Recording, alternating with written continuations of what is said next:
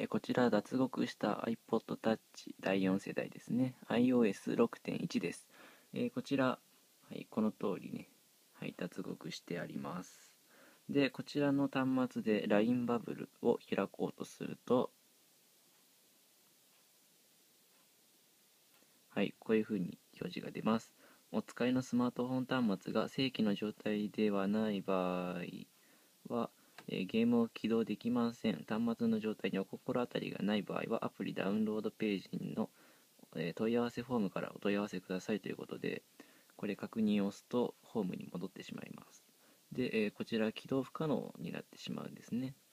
で、こちら、まあ、できるのか、え脱獄アプリ入れるとできるようになるとか、できるようにならないとか、いろいろ言われていますが、自分は分かりません。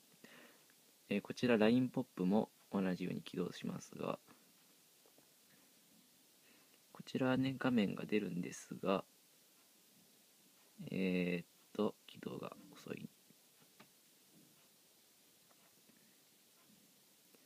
はい、こういうふうにロード画面は出ます。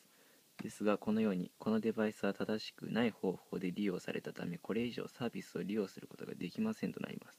で、OK を押すと、えー、こちら、このようにね、ネットワークが不安定です。再度お試しくださいというふうに出ます。で確認を押すと、え、スタートが押せるようになります。